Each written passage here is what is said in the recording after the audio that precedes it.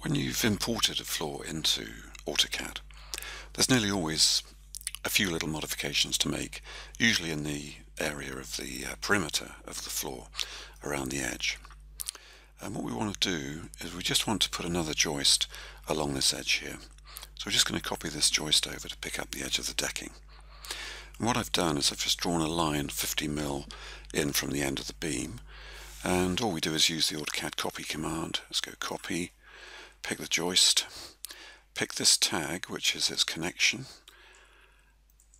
pick the tag at the other end and then just copy from there to the endpoint there. And that is literally all you have to do. Just copy the, the tag and the um, joist itself.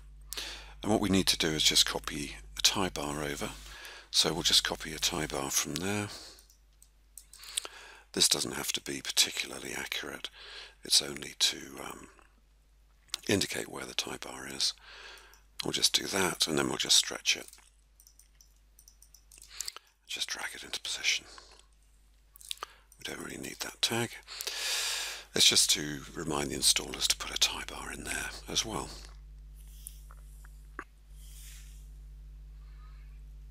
Just to mention a little bit more about these tags.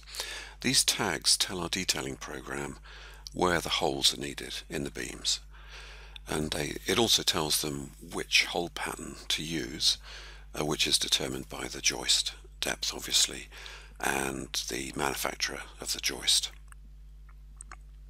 But that whole area of the software is completely customizable to virtually any type of hole pattern and cleat arrangement and I'll talk about that in, in some detail in other videos but I don't want to go into that in too much depth at this stage we just want to get on and uh, get some fabrication drawings off, off this drawing. What uh, Multisteel allows you to do very quickly and easily is to create material summaries on the on the drawing. Uh, let's um, do a material list for our beams. So we're going to use our layer manipulation again. We're going to display our beams and I'm going, going to go to this command called material summary and I'm just going to window my beams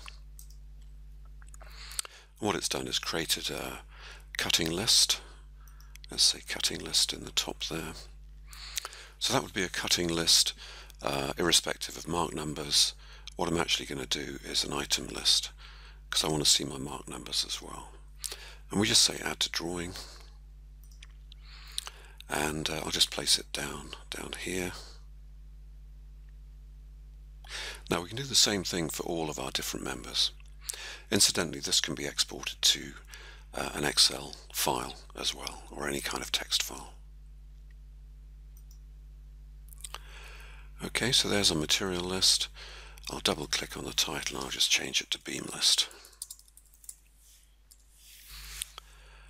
Okay. Now that obviously is accurate and very very quick to do. Just put my layers on again, put it right on top of my heading, so I'm just going to move it down. Let's do the same for the columns. Let's use the, the layer system again, so we just go along to columns. There's our columns which we can just see. Let's pick those and make sure we get those ones too. So there's our column list and I'll just say add to drawing. It always says do you want to replace existing ones? Well I don't want to do that. So I'll just put them underneath. Okay, and I'll change that to column list. Helps if you can spell actually. Column list, okay. And we need to do the same for our joists. Okay, uh, let's just layers on, layers off, find the joists. All of these have, have tool tips, so they're quite easy to identify. You just get used to them anyway. Let's list all of our joists. Yeah, we've got the edge. Okay, so it's giving me my joist summary. I just go add to drawing.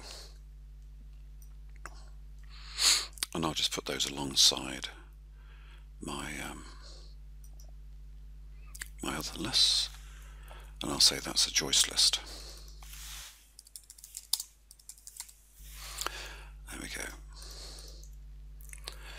So there's my my material summaries for my main materials.